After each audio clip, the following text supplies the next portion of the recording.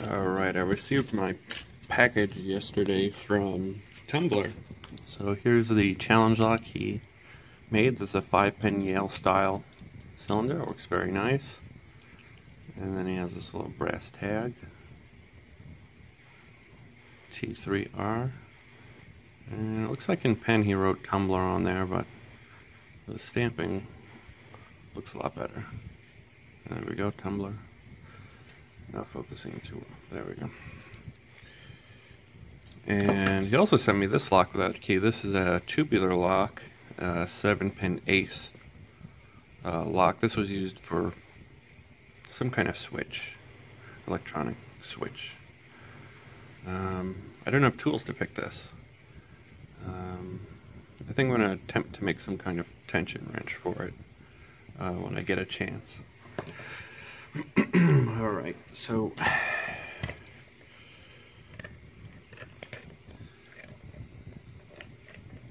let's take a look at this. I, I did manage to pick it clockwise. It seems a lot more difficult counterclockwise, so I'm going to stick with clockwise for now.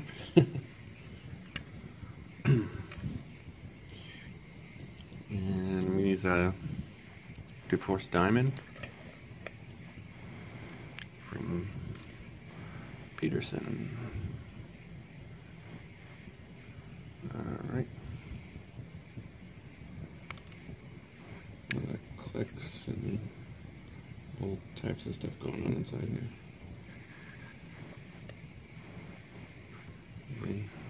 Sometimes I have to turn the core back. Or I'm kind of like uh, locked up.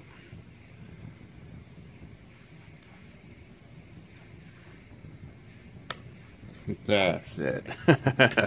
you call that a challenge lock. no, actually I got lucky on that one. Uh, I'm going to try to pick it counterclockwise while I'm at it.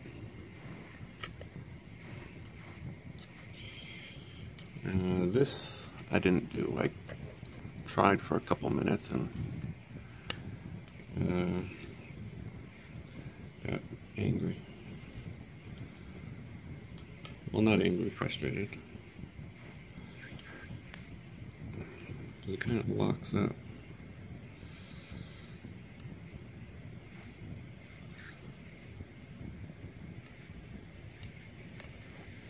And then I'm not sure what happens with pin one. I'm not really getting anything out of him.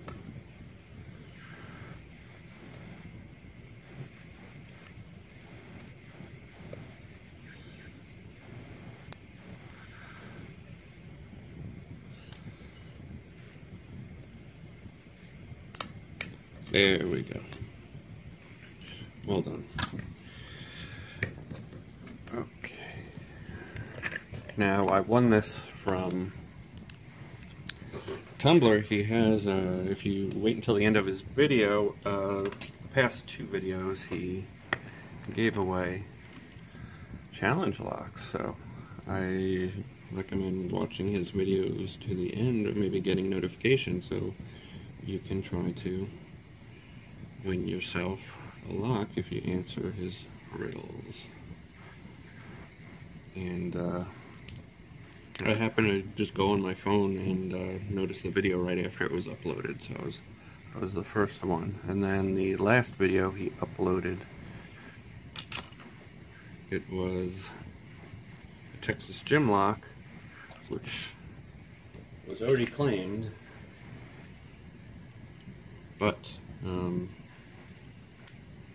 I gave him that. I gave him that one, so I didn't want it back. All right. So there's a lot of clicking in here because we have, uh, zoom in a little bit. We have some threading and a little bit of counter milling in there. Okay. Move all this junk out of the way. Alright, so some homemade pins. okay. That's great. Maybe that's why I was getting frustrated because I had I was stuck on a full set on one of these key pins. Wow. That's incredible. That's probably why. And uh, I had to turn the core back because these are so deep and it was, uh, even if I released tension a little bit, it wasn't, uh, it wasn't dropping down. It looks like pin one might be stuck in there. There we go. Oh shoot. There we go. Alright, so pin one looked like so. Yeah. Oh, driver one. yeah, these are all types of homemade pins, which I always like.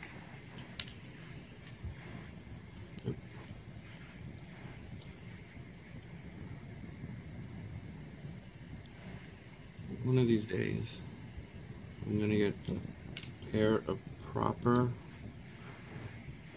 pinning tweezers. But until then, to do this the hard way. Alright. So I guess this is why I have to, let's see, get some, alright, looks like pin number three is still in there, so I think this was there. This was there. And pin three.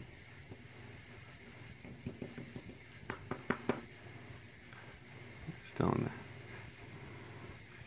Big strong pins or uh, springs.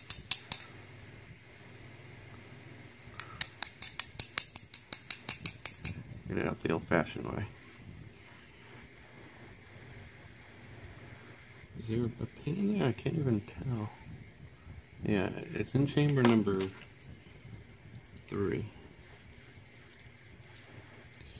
You know what it is? These are threaded too from the top. And it got jammed up in there for me prying it up.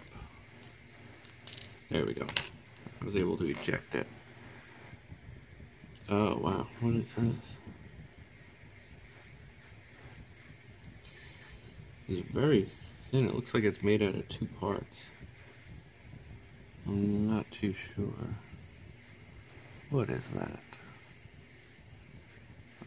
Uh, so I think it got stuck on this little lip here. Little sharp lip. Well, that's interesting. Alright, so that was driver three. And these are just big springs. That's what I need. I need some springs. Okay. So here we go. Um,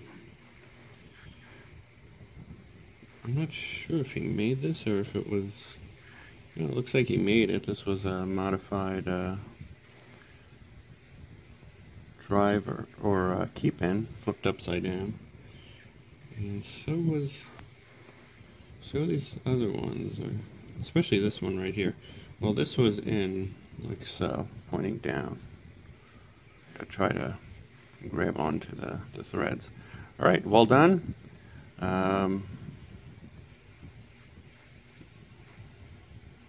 yeah, this one is interesting. That's my favorite one.